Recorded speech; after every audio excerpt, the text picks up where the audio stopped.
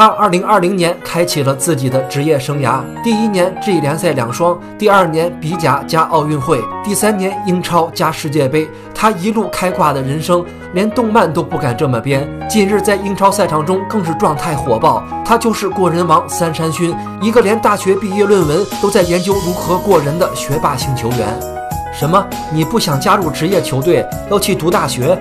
是的，三山勋高中毕业后，面对着众多球队为他抛出的橄榄枝，他居然选择了进入大学读书。他从小就很特别，小时候爱动脑子的三山勋就喜欢带球，丢球后第一时间的反抢，让他在一群不到十岁的孩子堆里面特别的显眼。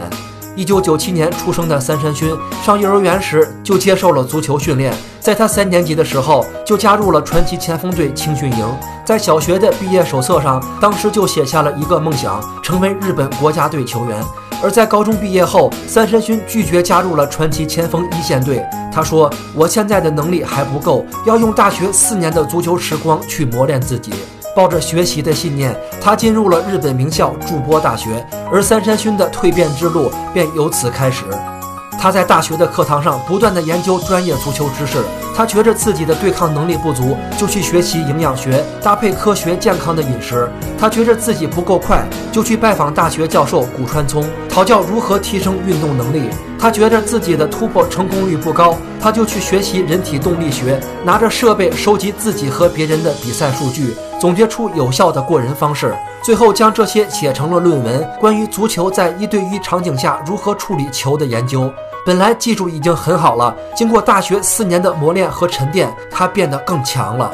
毕业后，三山勋顺理成章地加入了传奇前锋一线队，在首个赛季便交出了十八球十四助的亮眼数据。十二强赛，在对阵澳大利亚的比赛中，三山勋招牌过人后，在禁区内连过数人的得分，令人惊呼：“真三山无双！”果然名不虚传。他炸裂的表现吸引了来自布莱顿的注意。初次登陆英超的他，在面对利物浦的焦点战役中，其招牌的过人动作让阿诺德直接跪倒在地。在对阵狼队的比赛中，首发出战的三山勋没有让主教练失望，头球打进英超处子球，造塞梅多红牌离场，倒数第二脚助攻帮助球队锁定胜局，直造三球闪耀全场。在近两轮对阵阿森纳和埃弗顿的联赛中连场进球，让他成为继道本润一和冈崎慎司后第三位在英超赛场上连场破门的日本球员。